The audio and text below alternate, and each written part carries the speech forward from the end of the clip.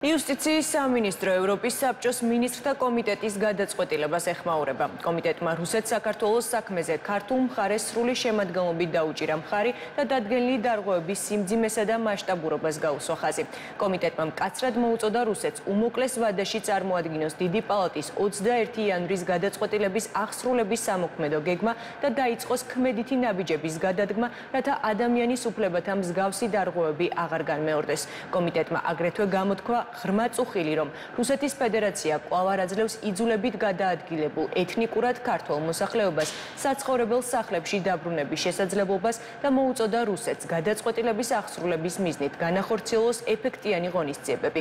ქართული მხარის ინიციატივით კომიტეტი ომის საქმის განხილვას მომდევნო სხდომაზე 2022 წლის დეკემბერში დაუბრუნდება.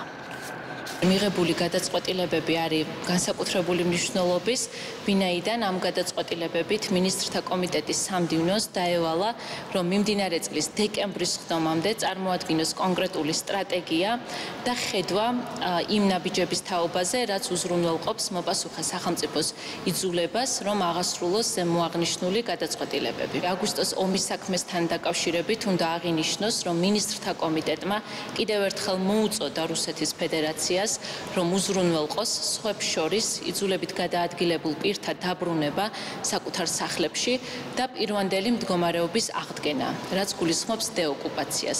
ქართული მხარე აქტიურად გააგრძელებს მუშაობას ზემოაღნიშნული საქმეების აღსრულების მიზნით.